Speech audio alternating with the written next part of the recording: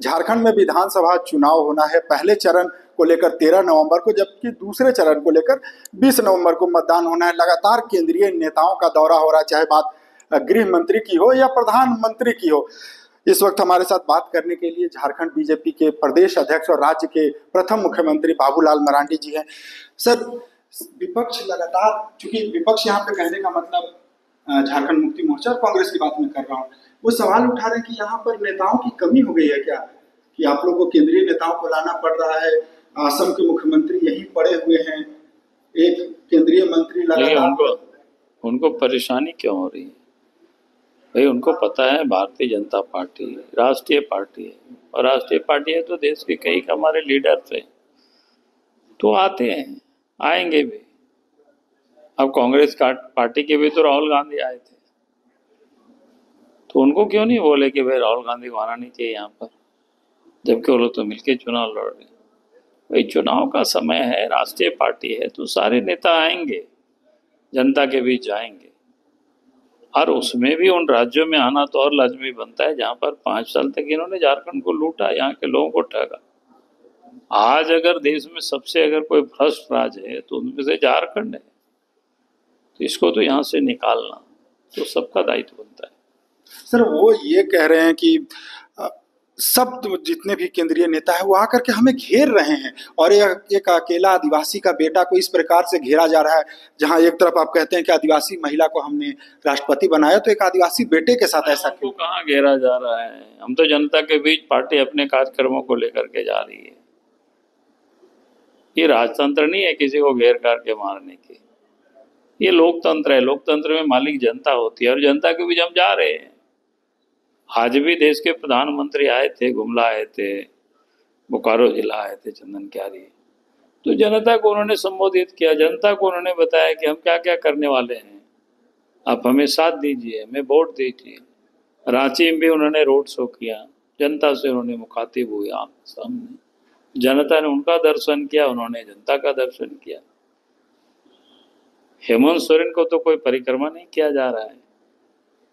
तो इसलिए ये कहना, इसे साफ़ ये लगता है, हेमंत सोरेन चुनाव बुरी तरह से हार चुके हैं। नहीं तो फिर इस प्रकार की बातें वो बोलते नहीं क्योंकि डेमोक्रेसी है भाई, डेमोक्रेसी में लोग आएँगे, जाएँगे नेता। और डेमोक्रेसी में अगर उनको नेताओं से ये परेशानी हो रही है, इसका मतलब ही यही है कि वो चुनाव बुरी तरह से हार रहे हैं। माटी, बेटी, रोटी, ये नारा आप लोग दिए, लगातार इस नारे को लेकर आगे बढ़ रहे हैं। वो मुख्यमंत्री हेमंत सोरेन कल पत्रकारों से संवाद कर रहे थे। उस दौरान वो बोले कि माटी बेटी रोटी सबसे ज़्यादा जो असुरक्षित है वो बीजेपी शासित प्रदेशों में है। नहीं, झारखंड में क्या हुआ है? एक एक करके व्याख्या करेंगे तो काफ़ी लंबे समय लग जाएँगे। लेकिन झारखंड में जितना महिलाओं के साथ दुष्कर्म हुआ है 2022 में तो नंबर वन पर झारखंड था। हम नहीं कह रहे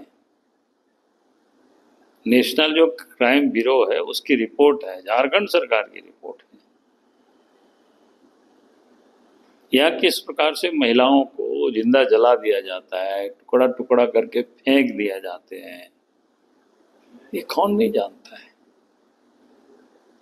और रोटी तो आप कहिए कि यहाँ बेरोजगारी है यहाँ से लोग प्लान कर रहे हैं, पाँच वर्षों में इन्होंने कुछ किया नहीं व्यक्ति। कौन सा उद्योग धंधा यहाँ लगा पाँच साल में? सिर्फ़ भाषण ही देते रहे ना। और माटी के तो पूरी तरह से इन्होंने नीलाम कर दिया। ज़मीन के कागजात को फर्जीवाड़ा करके इनके दलाल और बिचौलिया ट्राइवल की ज़मीन को भी लोग बेच रहे हैं। कोई इनके यहाँ अफसर सुनने वाला नहीं है, चाहे डीसी हो, चाहे सी हो, चाहे एच हो। लोग कंप्लेन पर कंप्लेन करता है, कोई नहीं सुनता है। तो आखिर क्या होगा? तो इसलिए हम लोगों ने कहा कि भाई, सवाल है रोटी बचाने की, रोटी, बेटी और माटी। ये हमें तीनों ही बचाना है। और उसके लिए हम लोग जनता से कहते हैं वोट दीजिए, नहीं तो सब कुछ ये लोग समाप्त कर देंगे। ना माँ बहने यहाँ सुरक्षित रहेगी, ना ज़मीन आपकी बचेगी, ना आपको रोज़गार मिलेगा इसके राज्य में।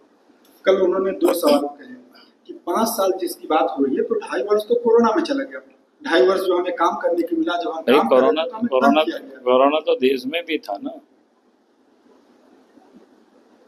और इतना जो नोटवा लूटा है किसने लूटा है भाई? मंत्रियों के सचिव छोड़ दीजिए आप सचिव के नौकर के घर से। तीस पैंतीस करोड़ रुपया की गड्डी निकल रहा है। आईएस ऑफिसर के ठिकानों से निकल रहा है। एमपी के ठिकानों से निकल रहा है। भाई किसका पैसा है? चंपई सोरेन एक बड़ा आप लोगों ने जिस प्रकार से मैसेज दिया उनके साथ जो घटनाएँ हुई चालीस वर्षों तक झारखंड मुक्ति मोर्चा का दामन थामा था। कोल्हान से टाइगर कहलाते हैं। क्या लगता है कोल्हान में क्या कमल खिलेगा इस बार? बिल्कुल कमल खिलेगा और मैं कहूँगा कि भाई उनको सोचना चाहिए। हेमंत सोरेन जी जिस व्यक्ति ने शिबू सोरेन के साथ कंधे से कंधे मिला करके आंदोलन किया, चंपई सोरेन हो लोबिन हेमरोम हो,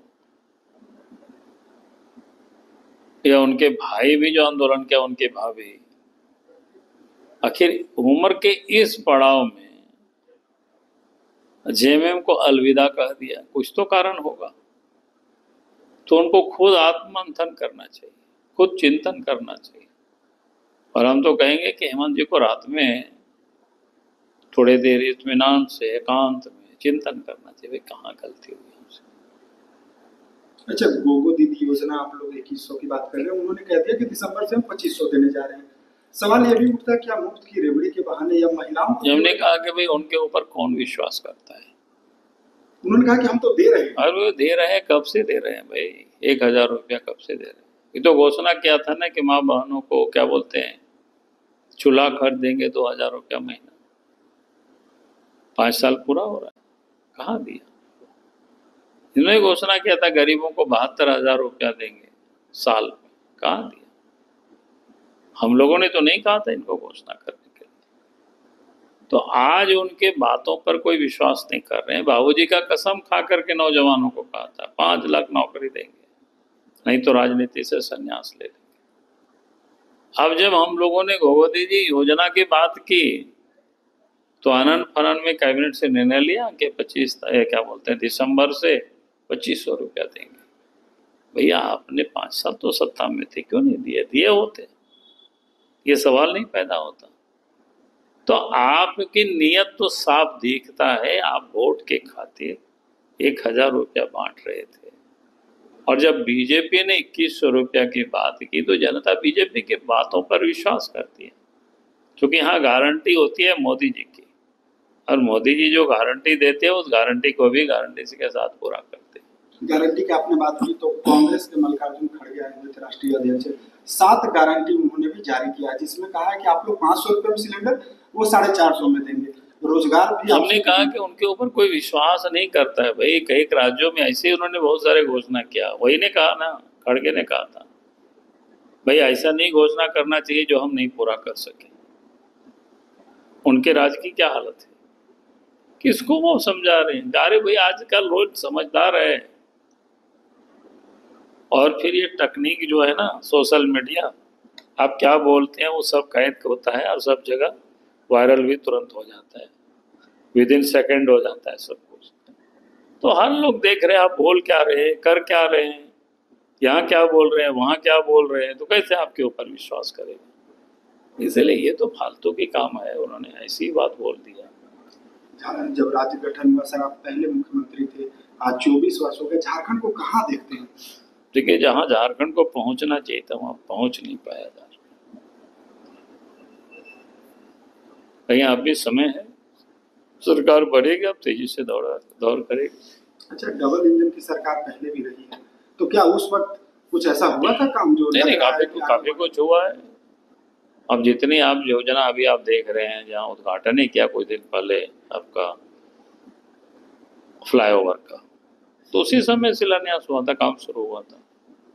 आपने उस बीजेपी के राज्य में आपने देखा तीन नए मेडिकल कॉलेज भी बन गया, दो ऑनलाइन था, वो अभी भी लटका हुआ है बेचारा। तीन तो बन गया ना। आज़ाद भारत में तीन मेडिकल कॉलेज था और पिछले रघुवर दास जी जब मुख्यमंत्री थे, तीन नए मेडिकल कॉलेज बन गया। देवघर में एम्स आ गया, देवघर हवाई अड्डा बन गया। ऐसे अगर एक एक काम गिना दे तो बहुत सारे काम मैंने आपको मोटा मोटी मैंने काम नहीं हुआ ऐसा आप कैसे कर सकते हैं? जो साफ़ दिखता है और बड़ा काम मैं नहीं कह रहा हूँ कि कोई गली में पीछे से किया हमारी सरकार ने ये मैं नहीं कह रहा हूँ। सवाल उठा रही है कांग्रेस उठा रही है कि बाबूलाल आखिर कहाँ है? बाबूलाल कहीं दिख नहीं रहे प्रदेश अध्यक्ष तो नहीं बाबूलाल तो जनता के बीच में है। आज मैं जब लोगों से बात कर रहा था तो उन्होंने कहा कि मैं बाबूलाल को पुनः हम लोग मुख्यमंत्री के रूप में देखना चाहते हैं तो क्या बाबूलाल जी मुख्यमंत्री का जिन लोगों ने बोला उन लोगों को हमारी ओर से शुक्रिया है। बहुत बहुत धन्यवाद है वो हमें इस योग समझते हैं। बाकी तो पार्टी तय करती है पार्टी तय करेगी। कई आपके साथी झारखंड मुक्ति मोर्चा का दामन थाम लिए कई दिग्गज नेता भी हैं तो क्या लगता है कि नुकसान होने जा रहा है? देखिए कोई चुनाव के समय इस प्रकार की घटनाएँ होती रहती है थोड़े बहुत कोई बहुत ऐसी अप्रत्याशित नहीं होता है। क्योंकि आपने देखा कि भारतीय जनता पार्टी ने सबसे पहले प्रत्याशियों के नामों की घोषणा की। इसकी हमने चिंता नहीं की, हम जानते थे कि एक लोग हमारे लोग लड़ना चाहते हैं, जिसको नहीं मिलेगा तो कहीं भी जा सकते हैं। और नहीं तो हम रोक भी सकते थे। तो हमने कहा कि नहीं, हमें जिसको लड़ाना है लड़ाना है, खत्म बात है। हम समझाएँगे वर्करों को, और अधिकांश लोगों को हम लोगों ने समझा चुका थोड़े बहुत वर्कर बचे हुए हैं। उसको भी हम कोशिश करेंगे चुनाव के दिन तक भी समझाने। लेकिन प्रत्याशियों की जो सूची आई उसमें परिवारवाद की एक नई परिभाषा नहीं नहीं नई परिभाषा नहीं नई परिभाषा तो वो लोग गढ़ रहे हैं। परिवारवाद की परिभाषा बिल्कुल स्पष्ट है। जिसके नाम से पार्टी की पहचान हो और पार्टी का संचालन होता हो। जैसे कांग्रेस पार्टी है नेहरू गांधी परिवार के नाम से ही पहचान है। संचालन भी वहीं से होता है। झारखंड मुक्ति मोर्चा है। उसकी पहचान ही शिबू सोरेन से है और संचालन भी वहीं से होता है। बिहार में राष्ट्रीय जनता दल है, पहचान भी लालू यादव से है संचालन भी वहीं से होता है। इसको परिवारवाद कहते हैं। अगर कोई भी एमएलए, एमपी का चुनाव लड़ता है, किसी न किसी का बेटा होते हैं, बहू होते हैं, भाई होते हैं, चलेगा ही। लेकिन पार्टी की पहचान उनसे नहीं है, ना पार्टी की संचालन वहाँ से होती है। तो ये दोनों आपको इस बात को समझना पड़ेगा। दो मुद्दे खासकर हैं, डेमोग्राफी चेंज और रोज़गार दोनों मुद्दे पूर्ववर्ती सरकार में भी थे। हालाँकि इस बार आप लोग मुखर होकर के उसे उठा रहे हैं। वो सवाल उठा रहे हैं कि केंद्र की सरकार की विफलता है। नहीं, मुझे लगता है कि आप लोग बहुत दूर चले जाते हो। केंद्र सरकार की विफलता कैसे होगी? आप तो जाते हैं ना कहीं होटल में ठहरते हो? आपसे आईडी प्रूफ माँगता है। आईडी प्रूफ देखता ही नहीं है, बल्कि उसका फ़ोटो ले लेता है और अपना उसके साथ टेक करता है और दूसरे दिन थाना में जमा करता है। कि जितने भी होटलें हैं, उस होटल में कौन आता है, कौन रुकता है, उसका डिटेल लेता है। क्यों? तो भाई झारखंड में कोई आ रहे हैं तो आपका काम है देखना, आने का तो किसी भी रास्ते से आएँगे। तो इतना सिंपल सी बातें लोग इस ढंग से लोग बताते हैं, जैसा लगता है कि ये काम सब केंद्र सरकार का है। केंद्र सरकार क्या करेगा? 2000 किलोमीटर बांग्लादेश की बॉर्डर लगा हुआ है।